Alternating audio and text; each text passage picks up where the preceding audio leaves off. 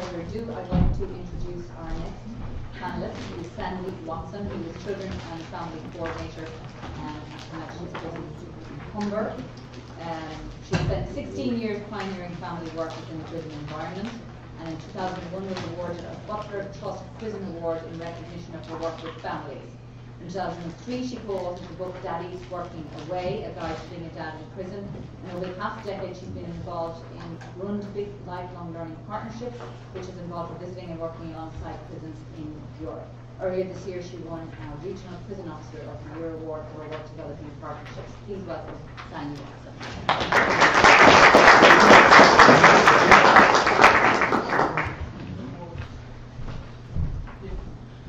Okay, it's, it's great to be here, even though this is a graveyard slot.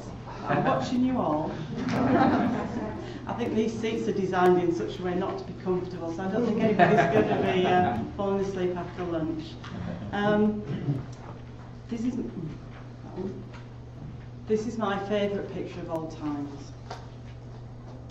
Um, that's in our visitor centre, and you could look at it and just say, yeah, there's a whole load of bars. When we were offered to take over the children's centre there, um, what I said was, right, can we take these bars out? But apparently, as high as those bars are, they go under the ground. For some reason, very high security visitor centre. So we couldn't take them out, not without costing an absolute fortune. And um, so I have some very lovely ladies who work with me uh, in the children and family work at the prison. And um, you don't notice it anymore. They do some fantastic displays. And um, one of the things that I just want to say about working in a prison environment is that you need to see this as an opportunity and not an obstacle. Now, I can be quite frank with you about some of the things that I'm going to share. I felt there's been a lot more obstacles in the last 18 months than opportunities within our prison. So I'm not coming, I'm not preaching you from a high place here but um, we could quite easily see the problems and not bother. But if today we can look at it as an, an opportunity and not an obstacle. So I need to tell you a little bit of the history of the prison because then you kind of know where I'm coming from. Um, I've worked in the prison so I've worked in the prison for about 17 years and that was at HMP Wolds and that was a private prison, the first private prison uh, in Europe I think and it was contracted out to G4S.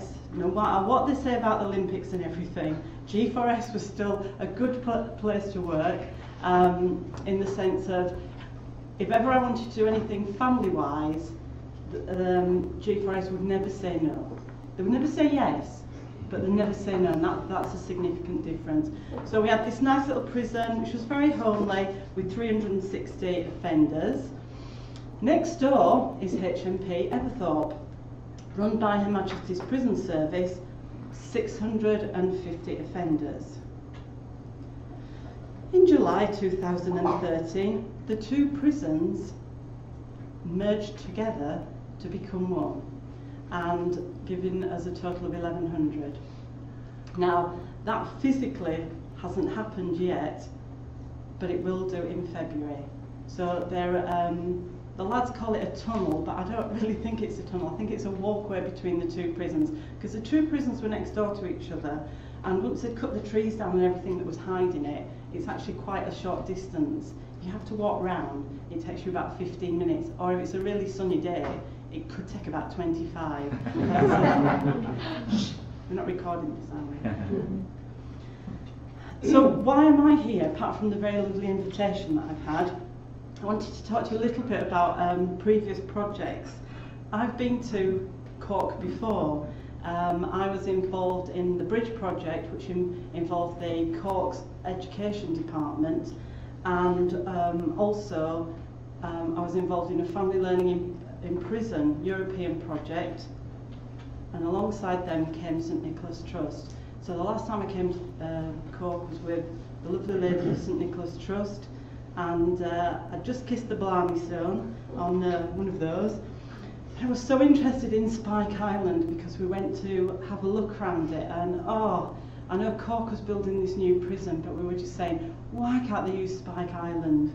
What a fantastic resource as well you know, the families coming over on the boats. Um, there may have been a few problems with that, but um, the fact that they had ground there that you could have used for agriculture, for animals, the, choices of what you could do with that were amazing. And so all of us who were involved in the project were quite surprised that you were going to build a new prison and really not use that resource. I'm sure there were lots of good reasons, but uh, we like that. So um, I have been, uh, had some involvement in St Nicholas Trust, which I'll tell you a bit more afterwards.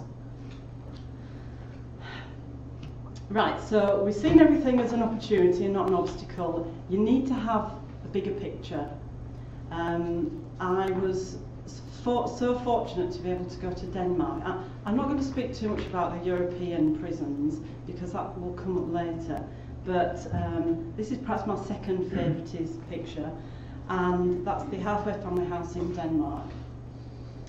We have to work with the whole family. Um, I know some of you are very child focused and I'm offender focused, but if we want to make an impact that lasts, we have to work with the whole family. And in Denmark, they have this halfway family house. And we've already mentioned uh, today, or, or the, the analogy I use, at schools now, they give children an A and they keep an A until they lose it, you know, a grade mark.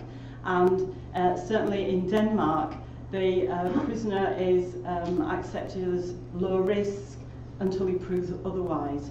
So this halfway family house is actually nothing, nowhere near the prison, but it will take a prisoner, which is either the male or female prisoner, and their family. And what's really significant about this is a man can serve his prison sentence or a woman can serve her prison sentence whilst being in this halfway family house. And the only thing that they have to sign up to is um, probation input, um, social workers, psychologists, blah, blah, blah, the whole set of um, facilities to support the family. Uh, uh, and what's lovely, if we want to talk about child-centeredness, is that these kids suddenly find there's somebody who's interested in them. And that is absolutely amazing because they have these reunions every year and these kids want to keep coming back and coming back because they found somebody who's been listening to them, who's spent time with them. So that's my big picture and that's where I'm going. And you know, on a good day, and on a not so good day, it's like that seems such a, a thousand miles away. Um, but we need to have a big picture. So that's my journey.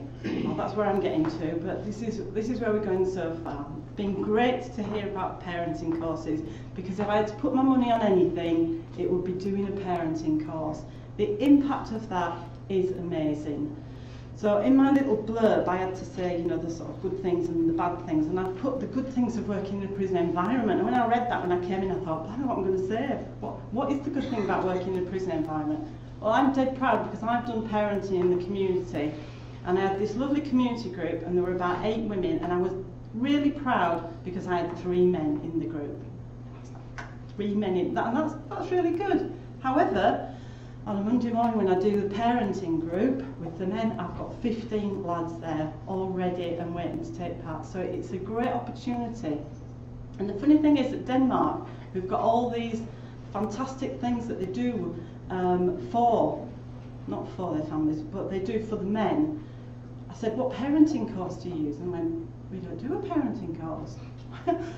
You've got the family with you, why don't you do a parenting course? And saying, we don't do parenting courses in the community, so why should, should we do it in prison? So, um, you know, there is a bit of a logic in that. So, it's great to have a group of these, you know, big strappy lads who are all keen and eager because it's about their families, and it's a great tool for us to use. One of the lads once said to me, because I've often thought we're all women, I said, oh, lads, I really wish we could get some men to do the parenting. And they went, oh, no, no, they won't get away with half of what you get away with. And I was like, really? What have I said? What have I said? So not only do we do one parenting course, but we, we call that parenting when we have parenting two. And we also have like parenting 15 and 16 until we can get the message. And um, when at one point when one lad said, we've done this before, you think, yes, he's got it now, because everybody's done it before, but nobody else had recognised. So parenting is so important. And Daddy's working away at a guide to being a parent in prison. Um, was involved in this book in 2003 and it was all about parenting in prison and it still is. So I'm going to give this as a free gift to Limerick Prison because of all your uh, emphasis. And, and it's, it's dead authentic. I've actually pulled it out of the prison because it's got the name of the education manager inside. I don't know why she hasn't got that. And then it's got this dog-eared corner. And those are used with the Rizlas to do the stick. So this is the genuine Um, yeah, it's great doing parenting courses with men, but there is a bit of a um, disclaimer on that one. So some of the lads will say, yeah, I was speaking to my missus on the phone this week and she was saying, oh, the kids are doing this. And I told her, I said to her, you don't do it like that, you do it like this. And you think, oh, I don't know, please don't do that. But whenever possible, we get the parents, we get both parents in. And we particularly do this uh, in the summer holidays or just before the summer holidays because that can be quite a traumatic time for a single parent at home with the children. So we are trying to do some work together.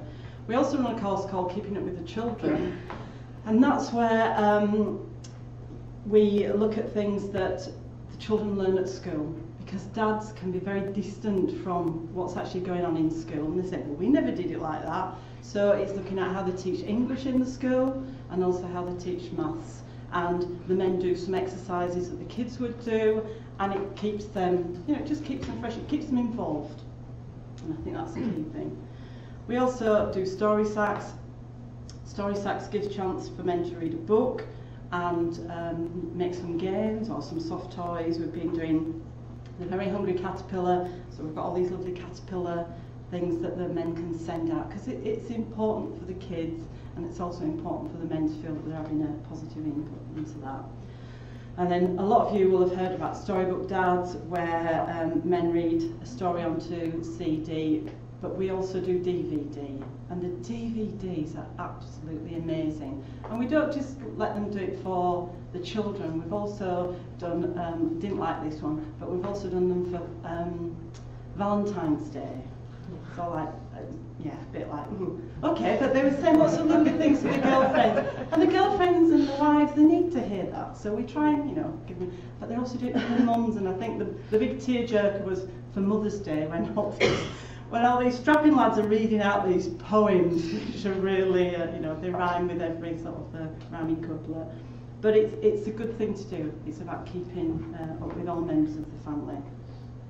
And then we also have a Building Stronger Families course. We work with an organisation called Time for Families who are now been uh, working alongside PACT organisation, which I think has already been mentioned. And um, what happens is the partner has to come in for six sessions. It's normally, we normally do it over six weeks. And two of the sessions on communication, we find out what love language everybody is. And that's a great, great activity to do. And then they have a, uh, one that's based on parenting and one that's based on money management. So all the things that they don't have time to maybe speak about on a visit, the visit lasts from 10 till 3, 10 a.m. till 3, and they have lunch together. And it gives those couples some time to actually discuss and really get to the nitty gritties because you don't get that on a visit. The visits are very short, maximum of two hours, and by the time you've got in there and you've got your sandwiches from the cafe and the kids have been running down, you've had to go and rescue them, it's a very disjointed visit. But these um, Building Stronger Families, they give uh, an awful lot of time to resolve something. And um, we're recently working with um, some of the Troubled Families team in the UK, and I got one of the um, one of the organisers to come in and just talk at the last session of the Building Stronger Families. And what she said was, we can offer you support because my biggest fear is that we open a bit of a can of worms and then we just, oh, well, you finished the course now, 10 weeks, off you go, end of story. I want to be able to follow this up. I want to be able to give support, especially if we've been working with the partners. So we have a, team that can come in and offer free of charge counselling and therapy for couples. However, that sounds really good, but the, uh, the, the slight reservation on that is that it can only be from lads who come from the Hull area. well, you know, in our prison we have lads from all different areas. So that's a slight problem. But on the last session, we were working with nine offenders, and two of the women have sought counselling and getting additional help, and that is absolutely fantastic. Um, as I said, I believe that we should work with the whole family, and um, we've done a cooking for families course, which is just fantastic. The men do a course beforehand to help them sort of learn how to cook. And then on the last session, we bring the families in, or we did bring the families in. And there was one point where there was an offender who was really enjoying cooking and he was la la la and he's chopping up the onions and he's getting really excited and his kids are tearing up and down this very small area. So I just sort of tapped him on the shoulder and said, you need to be looking after your kids. And he went, I'm cooking. and she said, yeah, well, now you know. Or so. Okay. you can imagine how it went. Yeah. And um, what I would show you at this point, but technology prevents us, is um, family learning. And probably that's what the Wolves Prison previously was famous for, was for the family learning course, where mum, dad and children under five meet up on a weekly basis and we do some work with the whole family. And it's it's a play session it's like a play group but you've got mum and dad there. But I've got a five minute video of that which we're going to see at the end. So I won't say too much about that. Apart from the slight dis uh, disclaimer on that one is that my hair's a different colour. That was uh, one of those uh, alerts. So that's where we are, but where do we want to be? I, I don't want us to stop there. We've got to keep replicating good practice in order for um, it to really sink in.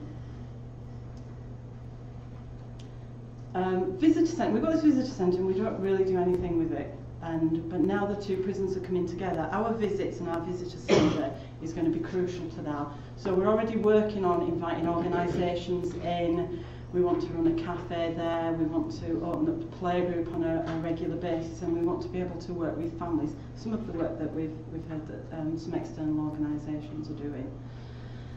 Um, before I, well I've always been in this job, but when I was part of G4S, uh, G4S has got several prisons over the UK and I was the Children and Families Development Manager over all the prisons.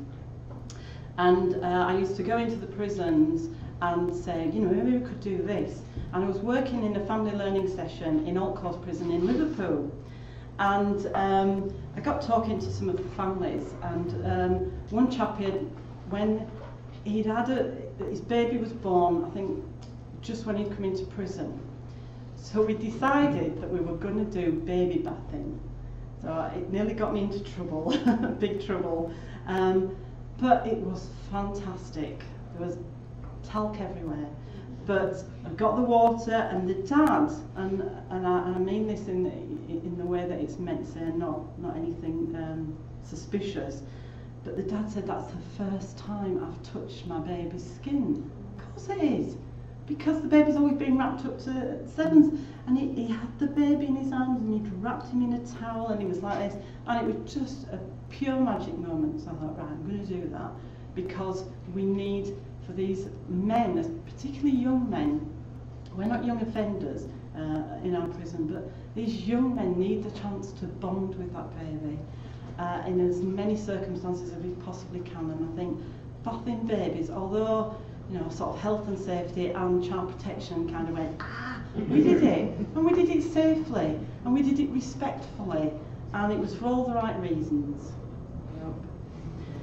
One of the things I've wanted for several years is I've wanted a family lounge. And we've, we've talked about some uh, already, some of the uh, visit places where the area is a bit more relaxed. So in our children and families um, Portakabins, shall we describe it as, um, we have one Portakabin where we've got a cooker, uh, several cookers in there and we do the cooking. And then we've got another Portakabin which I've managed uh, to get some settees and a carpet. And the funny thing about this, you know, opportunity, not obstacle, um, we had an IV, the internal verifier came to look at some of our portfolios and I said, well, maybe while you're marking those, I'll just tell you what we're doing here because it looks a bit of a mess. But what I would like to do is I'd like to get a carpet down, a couple of settees, and we've got a play area, we, we've turned this other area into a play area, and I would like the lads to come in and have a normal visit Normalisation is sort of the in word. It certainly is in terms of uh, Denmark, but it's my in word. Normalisation. When, when can we just have a normal visit? So I said, so you don't know anybody who's got a couple of sofas and a carpet? And she went, I've got a couple of sofas and a carpet. I went, really? And she said, and I'd love you to have them. And I said, oh, I bet you can't, you know, there'll be some reason as to why you can't bring them in, but actually we've got all the permissions and we've, we've brought them in, so you just never know when your internal verifier comes. and what I would like to do is to offer to a couple of families just a normal visit. So they come into and they sit on settees. Because when the settees came, one of the lads said, oh, can I sit on that settee? I haven't sat on a settee for three years. Now have you thought about that? I haven't. And he went, I haven't sat on a settee because I've been in prison all this time. And there's no way to do some of normal behaviour. So we're kind of thinking the older pair, older, you know, grandpas and mums and dads, the older ones who maybe just need to sit down because if the seats are anything, it, it, it's not good in a visit where the seats are hard and they're not relaxing. So um, we're hoping to get a relaxed environment where dad can get off the red seat and he can go up and play with his kids and come back and sit and have a cup of coffee. So that's where we're going to. And I've already mentioned we need the family therapy. We need that additional um, support that can be take place either outside or within, because otherwise we're opening cans of worms and we can't. We can't I don't like that expression, but you, you understand what I'm saying. We're opening wounds, and we're not. We're just giving them a plaster stick on it, and we need to we need to do more than that. So we have a responsibility. Uh, M-PACT Moving Parents and Children Together is a new course that we've been trained for, but we haven't started to deliver yet. And the reason we haven't started to deliver it is we can't find the men to do it. It's a, a course where the centre of the uh, course are the children. It's a child-centred intervention, and it's probably the first uh, one that we've really done. And um, what it is, is it's working with the parents who have substance misuse issues. And so we have, at the session we will have four members of staff, two of them will work with the adults and two of them will work with the children. And sometimes we'll all work together and sometimes we'll work separately. So dad, who used to go and do whatever in the garden, he used to do his drugs or, and he said, well, there's no point because the kids didn't know I did that. You know, we've got news, kids probably did know what he was doing. But they've got that, they've taken on that vow of silence, haven't they? And they're not questioning that. Well, this is sort of bringing it all out in the open. We'll call spades spades and we'll deal with some of these issues. And that has been done in some prisons in the UK and has been done very successfully. And that's something that we're looking forward towards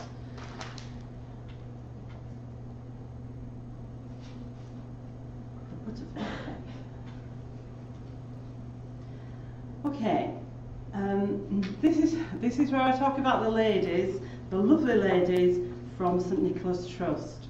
Um, I've been privileged to work on some of the European projects with them, and um, it was fantastic really because you know uh, Lisa and Laura who stood up and spoke this morning, and we could have all wet buckets with them, especially if they'd gone on to tell us more stories. Uh, while they've been working with a group of from prisons all over, they've always said, I don't really know why we're involved because we've got nothing to offer. All we do is we make a cup of tea for a few visitors. What's that? Well, not you're doing, Sandy. Look at everything you're doing. And they, they have not always been able to recognise what fantastic things that they are doing. So when we were in Germany and I was asked to give a talk, I, some of them, the team had been saying, we've got Margaret up there from the team, so it was probably her, saying, you know, I really don't know where we fit into this because we really, I don't know what we've got to offer. And so the talk that I gave was uh, about the butterfly effect, the chaos theory, which says the fluttering of a butterfly's wings in one country can cause a hurricane in another. And so what I'd like to say to us all is small changes can have massive impact. And the kind of work that we're doing can sometimes feel like we're just making a cup of tea for somebody. We're just talking a little bit about discipline and what's that going to do. but those small things can have a massive impact. So, you ladies from St Nicholas Trust, you're doing great things. Look at, you know, you've, got your conferences now, you've held your own conference, you're doing booklets, you're doing amazing things. And we, you and we all need to keep doing that because small changes can have a massive impact. So there's three things that I'd like to leave you with. And the first one is opportunity, not obstacle. The field that we work in is full of obstacles, but let's try and view them as opportunities. Secondly, is get the bigger picture. Find yourself either the Dan I'll give you that picture of the, the Danish um, halfway house, or find your own vision of where you're going because you will need that on days when you don't you don't see so clearly and when it's feeling a little bit more like obstacles than um, opportunities. And then the third thing is that small changes can have a massive impact. I've had a, more than one lad who has said to me, um, uh, rung me up after being from prison. So he's, he's out there and he's rung me up and he said, I just really want to thank you for work that you've done with parenting. I thought I was a dad. He said, but you taught, your course taught me that I wasn't a dad. I was just playing at it. He said, I've just had a new baby. I'm going to get it right this time. You'll be proud of me, Sandy. And he's like, oh, yeah. It, re, uh, that kind of confirmation is exactly what we're working at. So hang on in there, keep going for it because we can make a difference. And I'll just finish with, with one lad who also, after they do the parenting course, we have a family day. Uh, uh there are other things, but I've kind of got time to talk about other things. But the family day is great. Family day in the gym, uh, face painting, football, the, the whole works. Anyway, this dad had done the course, and then he, we had a family day in the gym, and he came up to me at the end and said, Tandy, I really want to thank you for that. I went, yeah, yeah, that's fine. And he went, no, no, no, you're not listening to me. He said, I really want to thank you for that because it's the first time I've played with my kids. And I went, yeah, that's fine. And he went, no, no, you're not listening to me. What? He said, that is the first time I have ever played with my kids. I said, but they're seven and ten. He said, I know, it's a shame. It's shameful, isn't it? And I said, so what are you going to do now? He said, every Thursday night, because he was going to due to be out soon. He said, every Thursday night we're going to have a family night, and I'm going to put into practice the things I've learned. So small changes can have a massive impact. I'm just going to leave this with, we're going to watch the family learning DVD, and then we'll be available for questions. Technology, please.